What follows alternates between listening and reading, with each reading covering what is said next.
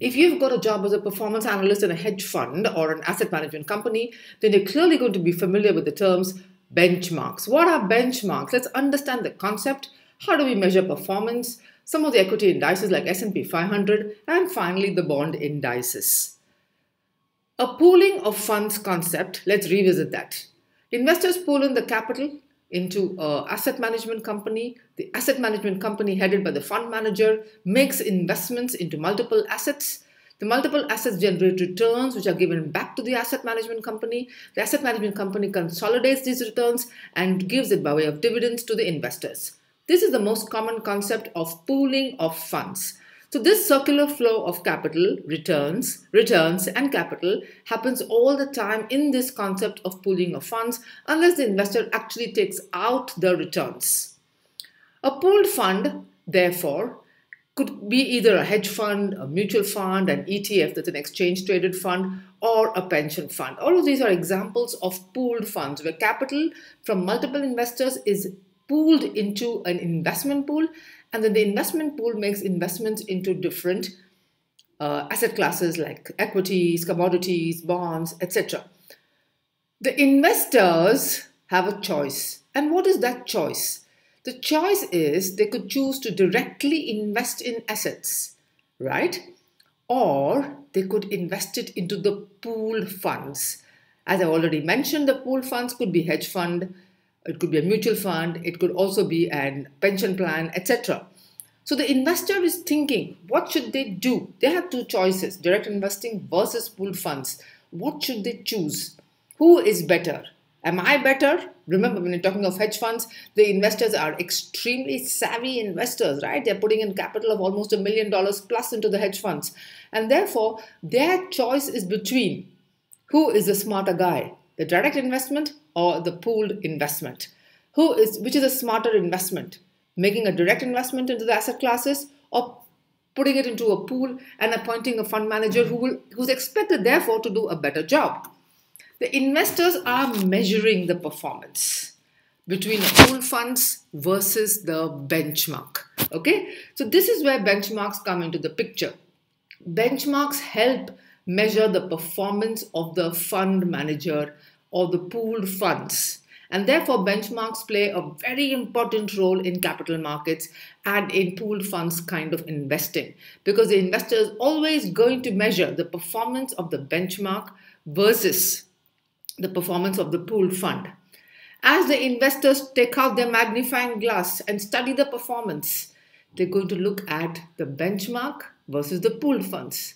Now, what is a benchmark? A benchmark is an unmanaged set of assets which are relevant to the underlying pool. Okay, you can't have an equity fund and then keep a benchmark as a bond index. Okay, the benchmark therefore is unmanaged. What do we mean by unmanaged? By unmanaged, it means that there is no entity that's responsible Uh, or does the calculation of managing the benchmark. The, the benchmark is a statistical computation that comes across by various rating agencies or financial institutions that create, generate, and use the benchmark in performance management. Whereas a pooled fund is managed. So, therefore, a pool fund is expected to give better returns than the benchmark because you're paying that management fee, right? It's in the case you're going to directly invest in the benchmark, there's no management fee to be paid. But if you're going to invest in the pool funds, you have to pay a management fee. So, therefore, investors watch and track the benchmark performance very closely with a magnifying glass at regular intervals. And hence, performance analysts have become a big job and a very important resource in many of the hedge funds and private equity firms. Let's take an example of a benchmark for those of us who are still unfamiliar with the term. Remember this? This logo reminds us of the recently conducted World Cup football in 2022 and the battle between the two titans of Argentina and France.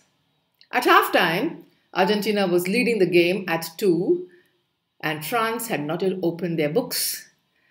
In the French captain's mind, therefore, the benchmark now is to get more than 2.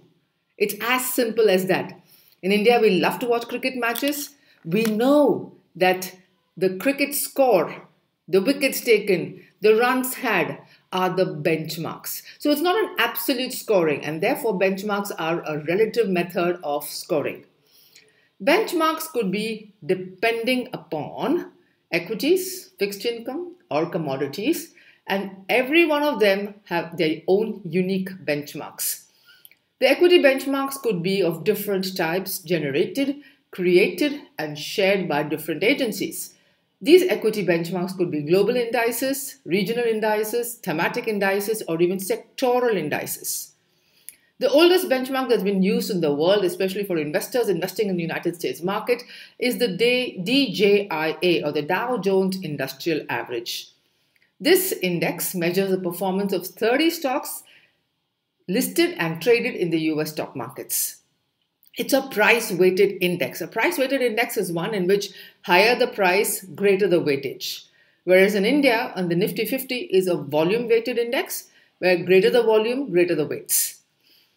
S&P 500 is perhaps the most widely used uh, benchmark in all equity pooled funds across the world. S&P standing for Standard & Poor 500 is the most widely used equity benchmark. It comprises 500 publicly traded diverse large cap US stocks. So compared to the DJIA, it's more diverse, it's more broad based. It's got a lot more representation because DJIA has only 30 stocks, but S&P 500 has got 500 stocks. These stocks are across different sectors. It's a market capitalization weighted index, and therefore it is the most preferred benchmark across the world. MSCI, that's the Morgan Stanley index, is used largely by global investors. Okay, global investors are those investors who invest anywhere in the world. All right, unlike DJIA and S&P 500, which is largely used by US-based asset management companies, MSCI index is more driven towards being used by global investors because they compare the global performance of asset classes. The different kinds of indices announced by the MSCI regularly, from which you can you can get it from the website, is MSCI World Index, MSCI Emerging Markets Index, MSCI India Index as well, and there could be many many more about such kind of indices given by MSCI.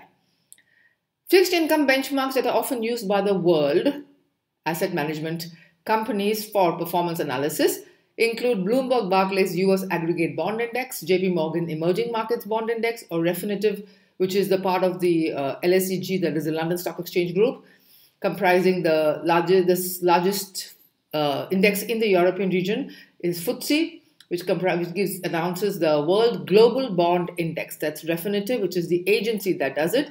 It's a part of LSEG, that's the London Stock Exchange Group. Commodity index could be Bloomberg Commodity Index, agricultural metals, energy, precious metals, etc. Thank you everybody for watching this video. Keep learning, keep growing. I'm your learning partner Sushila Hariharan. Stay tuned for more such videos.